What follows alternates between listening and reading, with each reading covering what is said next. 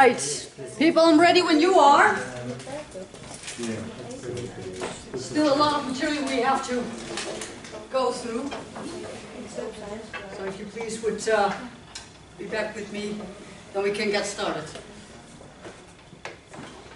All right, I understand that there's a lot of material and a lot of things what we have to absorb, so I'm trying to do this in a, a chunk and chain model in a way of speaking, so it all will all fall into place later. So we are going to resume our lecture again with the Xeper principle. I talked about that a little earlier in the lecture itself. And Xeper is the Egyptian verb for a scarab. It is, uh, it is reflected in hieroglyphs as a scarab beetle. It also represents the god Kef, Khepri, and Khepri is the god of the dawning sun. It's being depicted as a divine man with a horse beetle at its head. But why is this? And actually this is an, invention by Michael Aquino, who is the third magus on the left-hand path. And it's the word of cyclic dynamism, reflecting the cycle of manifestation, being dismanifestation and remanifestation. So Shorty read it affects those who know it as a pleasurable and clear perception of their reality, power, and will in both the objective and subjective universe. Well, and we talked about the objective universe, that's the physical plane, uh, Malkuth, or the low plane on the tree of life, as we call it, and we have the subjective universe, and that is also being discussed by the video of Alan Moore. Alan Moore is a very, I also consider him as one of the most prominent persons on the left-hand path. He's a, he's a writer, he makes cartoons, and he's a very intelligent man. He, he knows how to translate the ideals in the subjective universe as no other. So this is why I also see him as a prominent person on the left-hand path. So why the scarab beetle? Well, you have to say something for these guys because they are out there in a desert under a scorching sun, 550, 55 degrees Celsius in heat, and they're standing all day on their front legs making dumbbells with their rear legs and pushing it up to you. So they are very tough. And if you see the population of the scarab beetles, how many there are born, there are just a fraction of scarab beetles who survive the process of birth, of cocooning and coming into being. So there's a lot of vulnerability in there. And there's a lot of transition in there when it comes to toughening up. They're toiling through phases from an egg into a larva, into a pupa, and then into its ultimate form, which is the scarab beetle. So they are going through this metamorphosis, as you would call it. And this is actually the same with us. It's the same DNA, the same essence, but we are pulling ourselves, in a manner of speaking, into new incarnations of ourselves.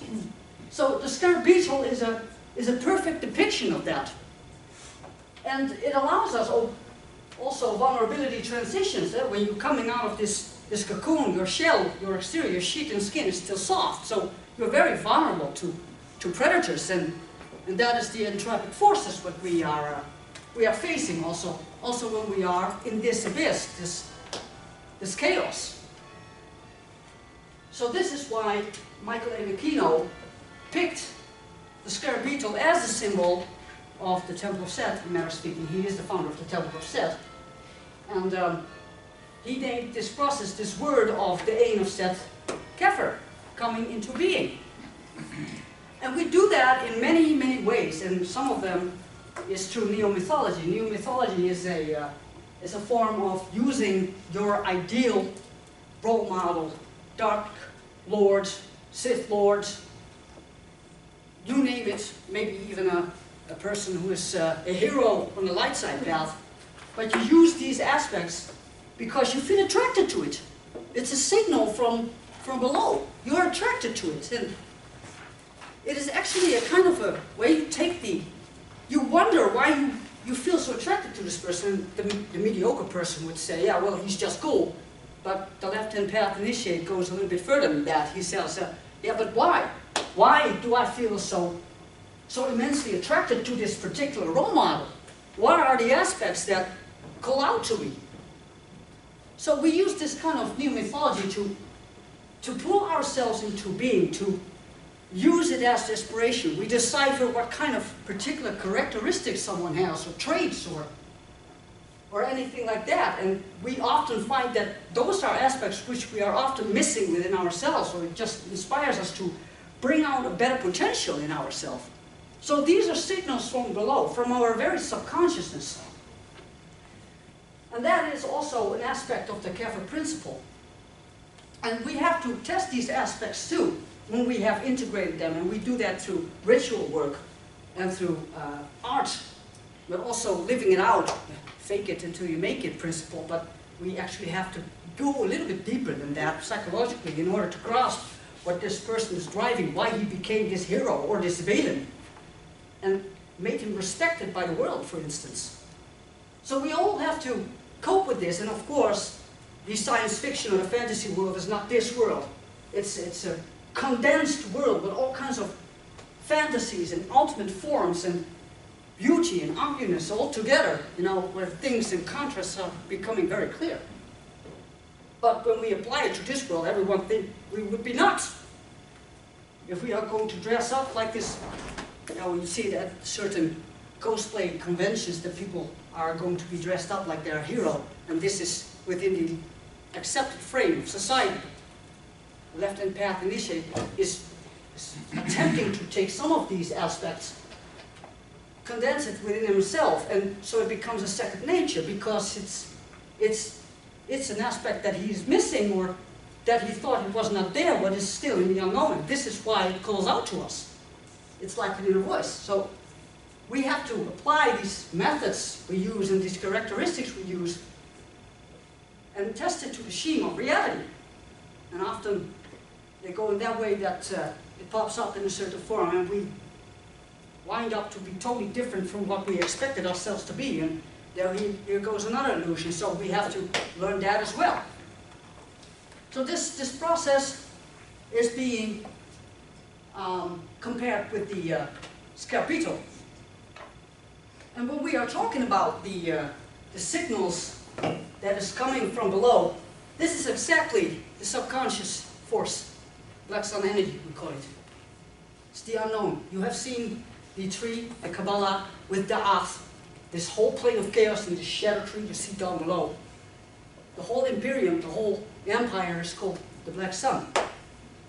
It's on the tree of life as well. It's the gates to your subconsciousness.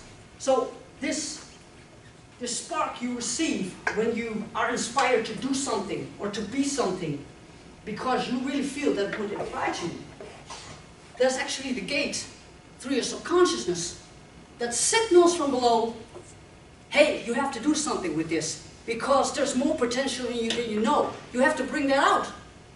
So this is exactly what this black sun energy is doing. But through society, it is also denoted as a very dark and sinister force. It signals rapid transition and chaos and especially what the what the subconsciousness, what the tree of death and the tree of shadow, what it implies. She almost the whole philosophy, by the way, so she can go whenever she wants. Okay. The cup, oh, um, yeah. Oh, the lights off, okay. Okay, so that's for the black sun, as the left-hand path initiate would see, but the world, the world denotes it as in the eyes of the new fascism is being associated with that, the Third Reich, and it was misused as such. And actually, this whole symbol of the black sun is coming from somewhere else, but the Germans, the Nazis in that, that, that respect, they, they knew all this, they knew what kind of power this symbol had, and they made it their own version with the 12 arms, and the Sieg, those are the 12 Sieg, which is referring to the astrological table and each, each of the Sieg represented the main aspect, a, a trait, a virtue, which would bring power when you would get to that. So this is what they did. It's an omen to an horrendous symbol of, of tyranny. And I will come to a moment to explain why that is. Also, they saw it, or the views it, as a bringer of death and war, similar to the swastikas, as this, as this symbolism was misused by the Third Reich also. And we all know that the swastika came from India. It's a very old symbol. They just misused it or gave it a new form. And it also signified for them the chaos and dark, maleficent forces and disruption and destruction. Now, why is that?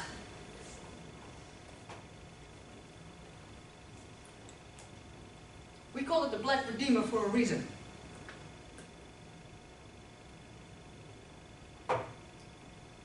So, the black sun was a Canaanite Hebrew symbol for Solnivli, and that was the old name of Saturn. And Saturn is the planet associated with low vibrations. When you would see, uh, I will bring it back in a moment. Uh, yeah, here. If you would see the, the tree of death, Tav is here, Tagirion, which is actually the reverse form of Tiferet, the sun. Tagirion is the black sun, it's the gate. And each of these of these spheres were associated with planetary spheres. And so Tagirion was also associated with Saturn, the lowest vibration, before you come in manifestation. So, the Black Redeemer, why do we call that? Well, it's the material world, or at least the gate to the material world. It's a force of restriction. And Saturn, in astrological terms, was the, the sphere that would bring manifestation, but also restriction to that manifestation. So if you wanted to do something, there would be a heap of entropy coming your way that would temper you down. Solitude. Saturn is also associated with solitude, and a lot of left-hand path initiates experience this every day through their life, especially when they are out in the uh, in a more mediocre world. I would say I'm a sports instructor, and I know how how people judge you, and there's no branch in this in this world judging you more than being a fitness instructor. You're standing before a class, you you have to do your dance, you have to correct people in their movements while you have to do them yourself. You have to interact with people and you have to look fine and all that and you have to present yourself in perfection. And if not, they're going to judge you. So I know what it is like to be judged. And because you're different, people are often to shun you. Because they feel this energy you have, they feel it and they are like, oh, uh, no, not my thing. And that's their choice. That's perfectly fine. But because of that, because of their mental mindset and how they view things, and because a lot of people who are on the other side of the path do not understand, they, they judge, and often I think that judgment is often a result of a lack of insight in people. When people judge you, it's because they have a lack of insight and knowledge themselves. But now this is why our path is also is also denoted by solitude. And that's the hardest thing to overcome because we are all very social beings. We live in a, used to live in a tribe and when you were somewhat different or you did not listen or you did not go by the tribe's rules, then you were cast out and you were a dead man walking. So this is also why the tribal instinct within our minds is very strong. Don't underestimate that. It's in our crocodile brain. It's maybe not so necessary in this world anymore, but it's still so the, the fundament of our society that everyone wants to be accepted by one another. And when you are not, well, the, the, in, in, your feeling, how it feels is that you are good, as good as that. And that's also, again, that chaos and entropy you are experiencing. So the family force it is also the manifester. It's a combination of matter, intense focus.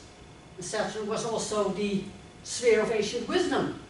Uh, Kronos or Zeus, for instance, was associated with that sphere. It's a, it's a sphere of rulership, responsibility, and harvest.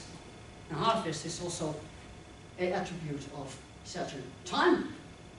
Time is a black sun energy. You can't grasp it, it just goes forth. So you have to make the most of it. Everyone knows that when energy descends into matter, as soon as it hits the physical realm, all matter is bound to wear off.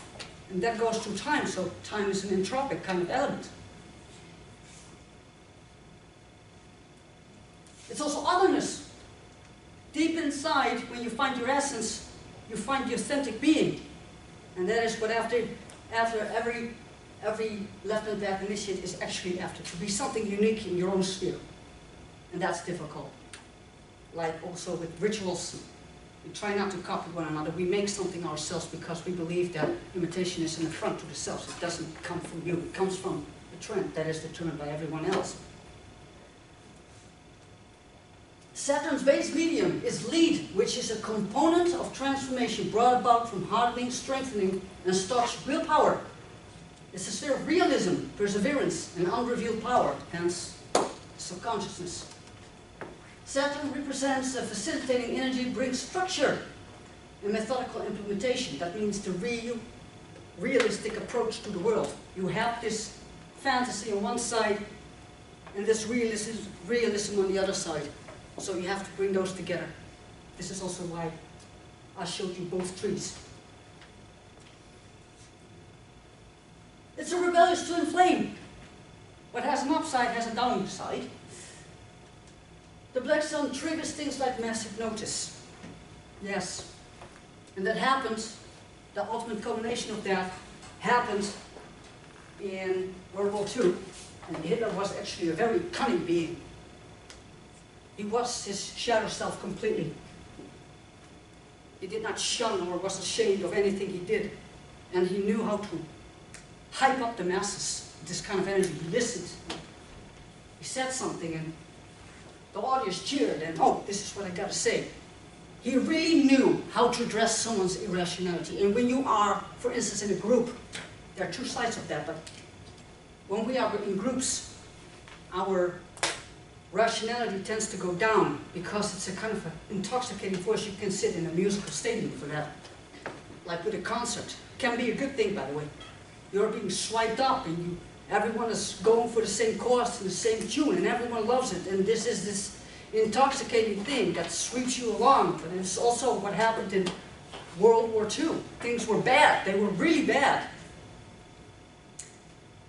And people weren't satisfied and they hated the economical crisis and Hitler promised to make a, a change in that. So he listened to the crowd, he said something and everyone cheered and he made things go from to worse in a way. They speak over oh, for them better. And he took with them millions of people who, who agreed with them on that topic. And there was this crazy, this crazy ass mass hypnosis. And it drove all rationality over the cliff. In total, 60 million people in the world died because of this world. 6 million Jews. And this was actually a very cunning thing, what he did with this, this David star because you still remember the Star of Remphan, that Star of Solomon thing. They applied it to the Jews, which is a Saturnic symbol. And well, the black sun is a Saturnic symbol. They changed it with those Sieg around it, but so actually it was a symbolism of children who were being thrown before the Moloch, what happened in Canaanite times, that there was this ritual, at least that is what the Romans believed, that the Canaanites, they had this ritual. They threw their kids in the oven by a cow, represented by a cow, which they called Baal or the Moloch. So actually what Hitler did with this whole Jewish kind of David Star thing, they actually threw the Jews to, to the lions, to its own father, for God's sake. So that was actually a very cunning thing. And that is also what, what is this crazy mass hypnosis about it. So it can really drag you along. And it also addresses the, the internal spheres, your emotional spheres. You can feel it when you are in a football stadium. Your team scores, everyone cheers.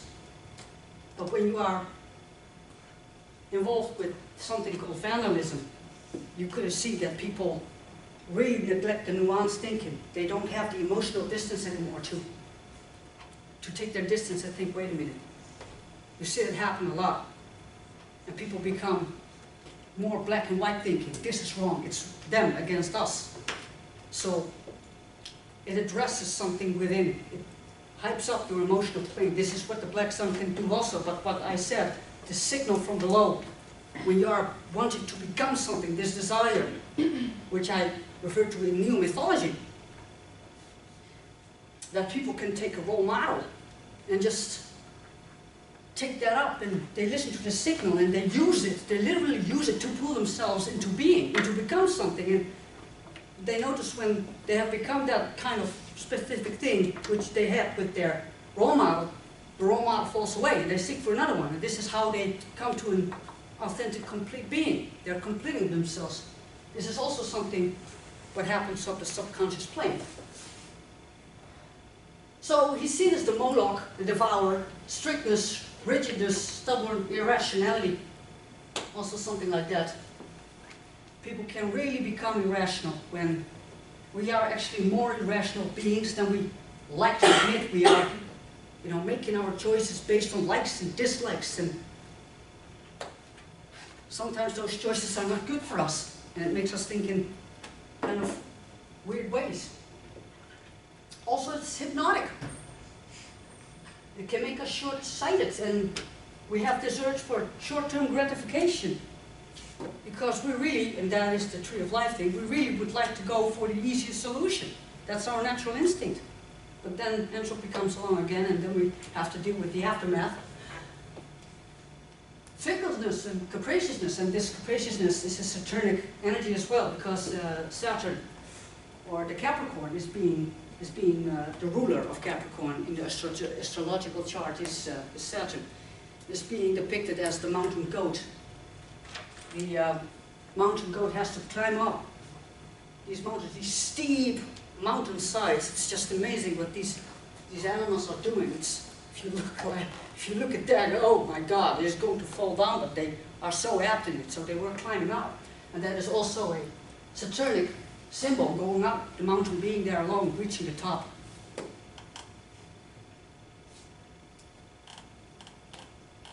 Like I said, it can be also destructive, like in World War II, entropic, chaotic transitions, the abyss, but a necessary component. If you wish to grow stronger, then we have to go and face this, this entropy.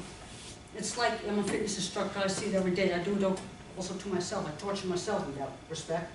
You know, I you have to overcome resistance in order to become stronger. That's the entropic aspect.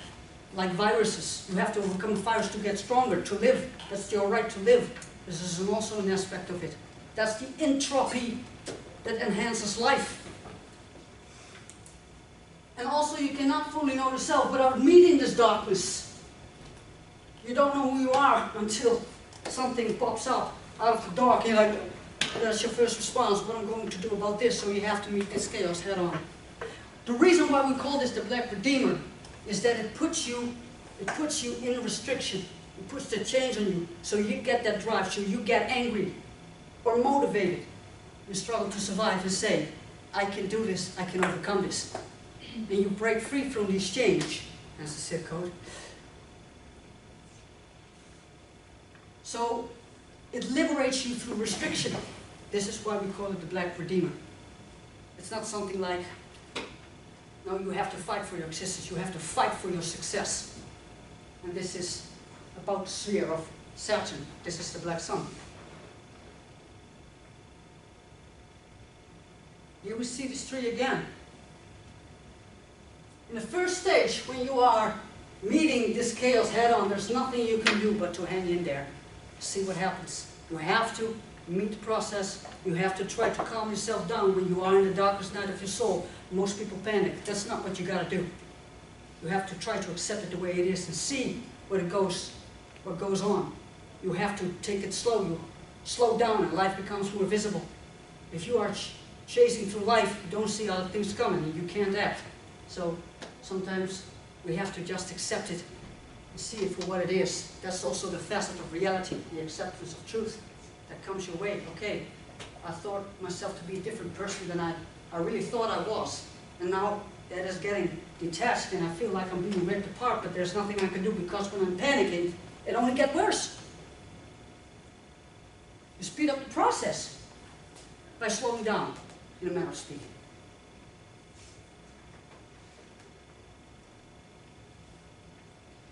Okay, what it also does, it brings out the power of the shadow self. And I have given you the pre-study video of the Egyptian nine aspects of the soul. Did you all see that? Because the shadow self is that what points out what is not right with you. Brings about and depicts the darkest night of the soul, the shadow and the black sun, Currents are active for most between 0 and 7 years of age. Why is this? When we grow up as a child, and this is psychological, we have brain frequency we primarily find ourselves in that goes per life phase. And 0 to 7 years is a life phase which is clearly denoted as theta, and theta is below alpha. There is beta, that's our aware consciousness when we are talking to each other like here now. We have alpha, that's the more relaxed state, you are going to meet that soon. And, uh, and you have the beta. And kids who are 0 to 7 years, maybe 8, maybe 9, but somewhere around that age, imagine them playing tea time. For them, it is real. For you, you know, it's just play. But for them, it's real. It's a way of nature to create a fundament, a platform, wherein you are being taught to communicate to the world in later life, in your responsible life. But also during this phase. It's called hypnosis because you're learning in this phase. You are absorbing all kinds of patterns from your parents and behavioral, and maybe you have developed a pattern or a mechanism down there to avoid parents' anger. And at that time it worked, but later on it proved to be detrimental in your life. It, it's also where the neurotic behaviors come from. Because the neurotic behavior is nothing else than a person is trying to use the same mechanism every time to get out of a situation. It's like a boxer who is getting beaten down. He gets up and he fights in the same strategy. He gets beat down again because he knows no other way. So this is all locked up in our theta stage. Can also be very positive. So knowing themselves is actually a very dangerous piece of advice and it is also best because we have to get down to the core of things, also to our mechanism, our childhood. And I also ask people who are coming in my practice and they, they really don't like sport and they have trouble of finding the way um, to lose weight or to overcome their training or overcome their hindrances because they're disabled and whatnot. And I ask, what did you love to do as a kid? And they remember it. And often there's some kind of movement of drawing or what, whatever what they love to do involved and they remember. And I said, we pick a piece of, of that. We pick that up and we intertwine that. We interlace that with the things we are doing now and it works. Because as a child, it is already because you are fully in your essence then. It is also being assimilated within you what you really love to do. And often when people are going on in that motion, they find their purpose. It's very, it's very strange, but it happens that way. Okay, theta stage in this age is facilitating to create a platform. I had that. Okay, after seven years of age, there's a transition from theta into alpha and beta. So the theta frequency becomes far more subconscious unless we begin and persevere to work with the subconsciousness, and this is called shadow work. I've also given you the video on Jung. And this conditioning sets up personality. We often confuse our true self for our personality. Like I said, in uh, the nine Egyptian um, aspects of the soul, we emphasize two things, which is Ka and which is the Ka, the body, and our personality. You also see, you know, we look at people, we judge them on their first appearance, we, we, go, we are being deceived by their front. And we have to make roles in order to communicate with the world, our role. And then you have a role as a doctor, you have a role as this, you have a role as a husband. These are all aspects of the personality, but it, it says little about your own essence. So it can be that someone can be a brutal monster in his essence, but a very nice kind of guy in his personality. That's the difference. So there's, however, a deep risk with this you think mental setup because we confuse the personality with who we in essence are. And, we see that during transitions when we rapidly have to change. For instance, there's a child coming up, or you get married, or you lose your job. Oh my God, I went through this and I see I'm not the person who I thought I was. So this is also Sun energy. They are, we are aware of these changes because, well actually, in truth, there's no awareness without pain. That's the trouble thing. We get to realize things when we start missing it. So it's also with the shadow. Shadow is an aspect of what we should have been and what misses. That is what hurts the most. So we can overcome these, these things, this hypnosis phase, through repetition, but I get to that later. That's the only way, as an adult, to plant something new in your subconsciousness. Okay, the reticular activation system filter. In short RAS, that's called RAS. It's um, your internal programmer. It's an entire network of neurons that does its job by filtering things out, allowing certain information in your brain, blocking out other information. If we did not have this reticular activation system, you know, we would be overwhelmed by all kinds of impressions of the world. So we actually filter out what we like and what we don't like. If we would see the billboard over there and something on the traffic lights over there and it's too much. And if, if, if we did not have this filter, then our brain would melt down, literally. They literally would melt down. So it's based on our likes and dislikes and what interests you or repulses you. It has been pre-programmed in your theta brain frequency phase in your childhood and points out every piece of evidence that confirms beliefs. And this is the danger because we have a selective kind of attention. If you, if you, for instance, were mistreated in your youth and you are made to believe that you are a worthless person, then this system will point out for you and confirm that belief day in, day out, by each situation, you are a wrong person. Hence the self-worth that is going down because of it. It's exactly this system that says, see, you're wrong. You're a wrong person, told you so. But also with the good things, the things you like. Certain conceptions or preconceptions we might have over, over race, over religion, over whatnot. So this system is very important on the left-hand path, and not everyone knows that. So this is why those who are on the left-hand path are using our shadow in order to interrogate what is true, what we think, and what is not, and what is self-deceptive. And opposite, you have to, uh, you have, oftentimes you have to go into the opposite direction of what you believe, even what you don't like you have to meet your shadow halfway, meaning that you, okay, you know, I think this, but actually we treat it as a, another person, but it's, it's the easiest way to, to work with it in order to see. It's an objective observer, in a way of speaking. Know thyself, shadow, the opposer, who is he? What does he do? The most awful person you will ever meet. Because it's all you. It's all you. Your antimatter. Every time when, uh, this is funny.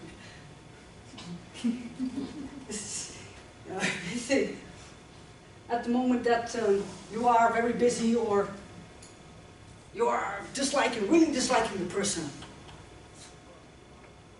And there's something what we call linguistic curses. Exactly that what we don't want to happen, happens. It's him. Yeah.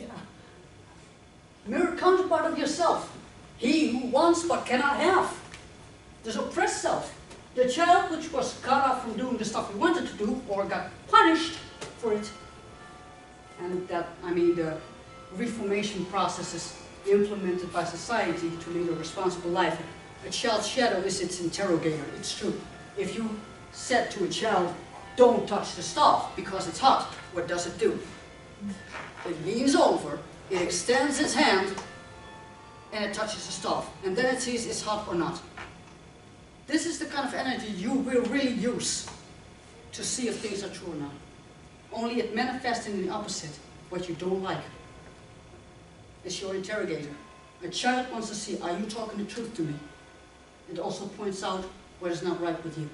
This is why we are often in a lot of confusion and also in a field of friction, or we are at war with ourselves. Okay, and what happens if all the social controllers fall away? That's another question. I know a guy, he, uh, um, he was from a pretty well-faring family. And uh, this guy, he did literally everything what his parents asked him to do. There was not a moment, at least not what his family could detect, that he disobeyed his parents. Never. A certain moment when he was 19, his parents fell away to a car crash. They were both dead. And to the surprise of his family, with the inheritance he earned, he did everything what his parents did not teach him. So finally, the, the restrictor was gone, the societal control, or his parental control was gone, and he did everything what he should not do according to his parents. That's true Sport. He uh, ended up uh, real bad, by the way. The original authentic entity. He's dehumanizing the humane, and that is why he's so ugly, because he, he is not very considerate of your feelings.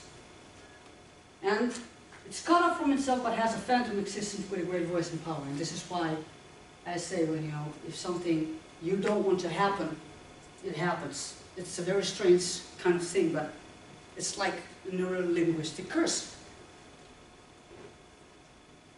And your uh, filter is also connected to it, by the way. He points out what is not right with the self.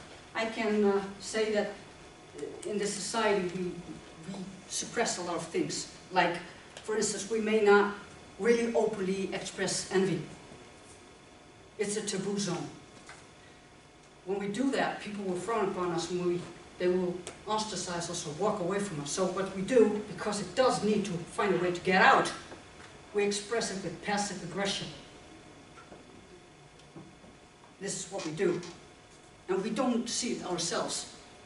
Others do, and sometimes others even don't, but we feel this friction like, oh, can strangle this person because he's better than me. It's also why we have this pecking order. It's also naturally very good because we are then competing with ourselves and bringing out the best of ourselves, but a lot of people express it with passive aggression or even with sneaky acts behind the person's back. Well, it has nothing to do with the person. This person is just doing his best. He's doing his thing. It's you who's having the problem. So instead of using this as passive aggression, we can also turn it around and use it as fuel in order to make something better for ourselves so we don't have to feel this way. This is using the opposer's energy. He will rear his head at the, mo at the most unwanted moments in order to get what it wants. We can see that with the example with the boss, you know, you, you don't want your boss and uh, at a certain moment uh, your boss does something and that's not exactly what you want and so you call him an asshole and you, you, you reach exactly the opposite but you could have used this energy to use it otherwise and say, okay, you know, who has the options, has the power, I can also introduce something else, maybe I can propose this and this and this, what do you think? So the boss is seeing that you are actually willing to cooperate, but also like to administer something of your own in it. Okay, and it points out the truth about yourself and what you are unwilling to face, but that I mentioned already. So, moving into the opposer's role. This is what we do on the left-hand path too. The subconscious mind controls emotional changes based on its own beliefs. Here are spiders. It's an example of that. They are practically, they're practically harmless. But there's something in our own consciousness, and this is the irrational part, that makes us fear spiders. All the, all the more because of the way it looks. Um, I don't understand why, why people are afraid of spiders, but that's something personal. It's something that calls out your fear. I can say that there's, there's awesomeness on the other side of fear, by the way.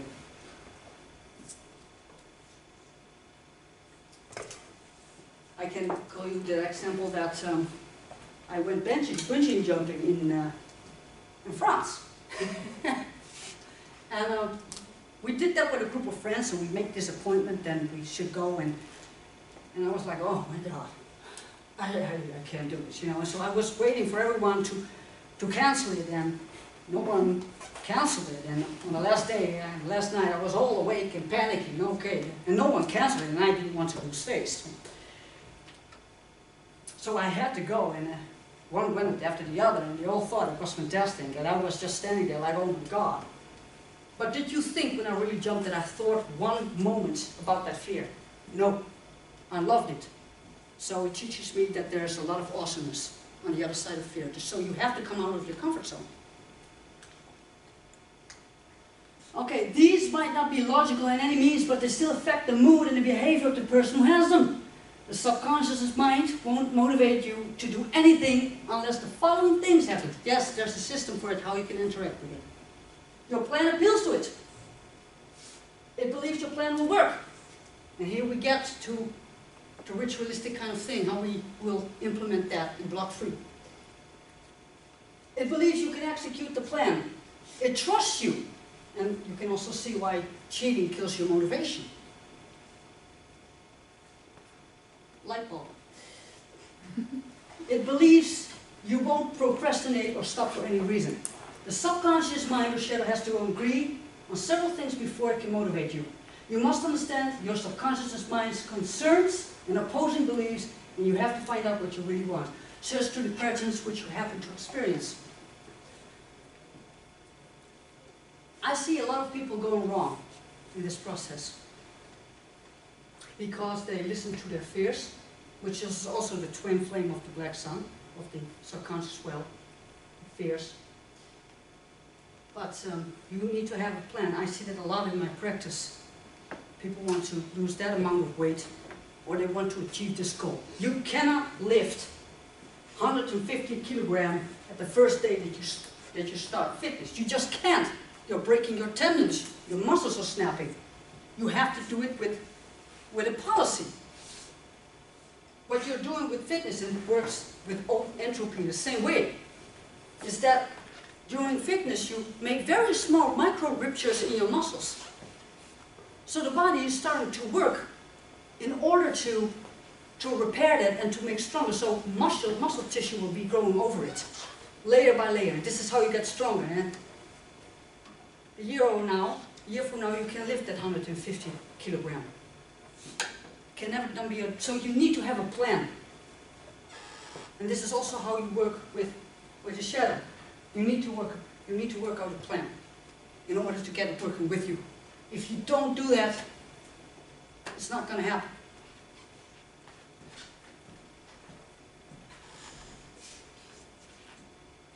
That's why is here, but okay. okay. Thank you, Pierre. Visualization and repetition. Okay, we talked about the theta frequency.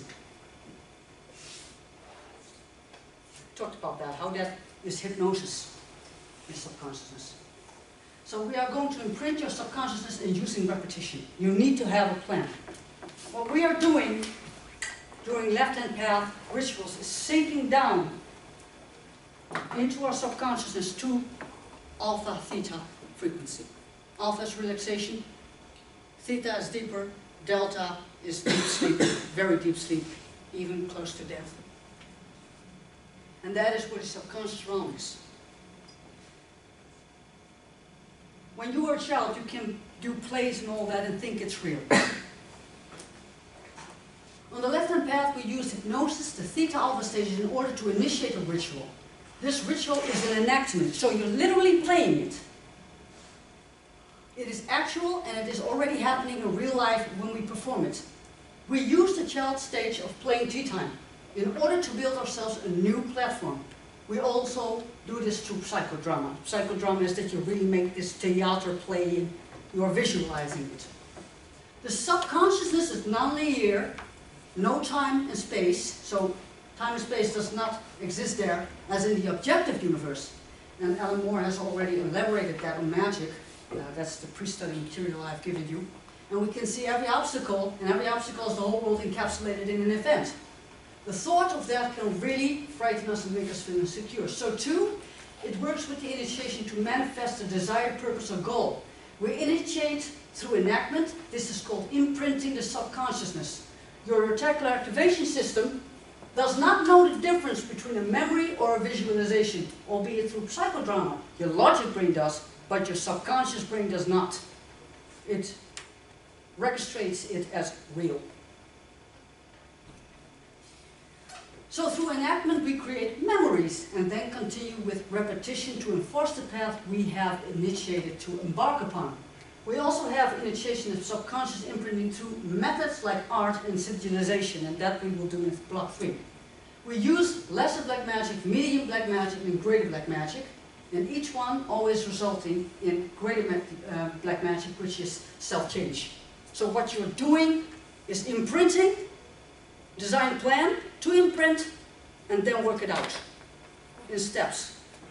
So your, your shadow gets convinced through small micro steps. Okay, you're heading in that direction.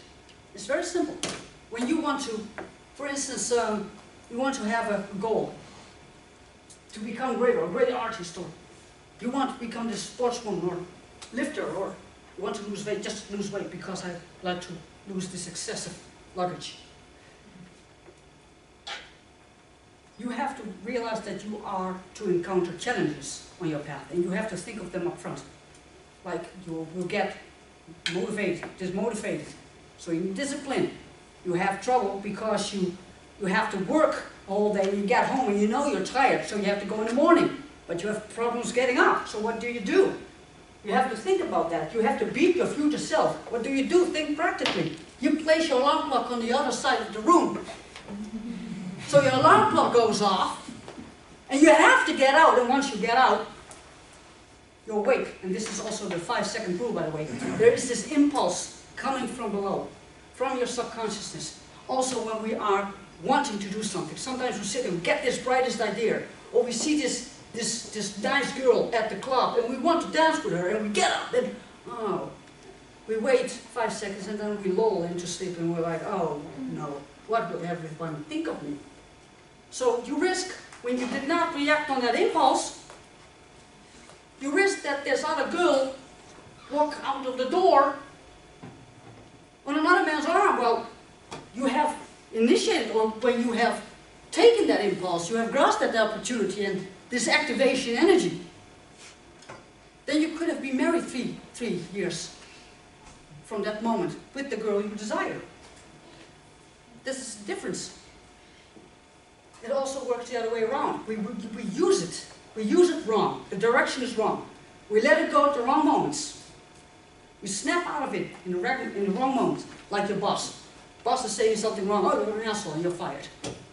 Moment, five second frame. On the other side, we sit with the ducks, waiting till we get shot. No. It is like you have to use this activation energy within you. It's the same force. It's the same shadow. If you listen to that, that shadow, it gives you this creative impulse.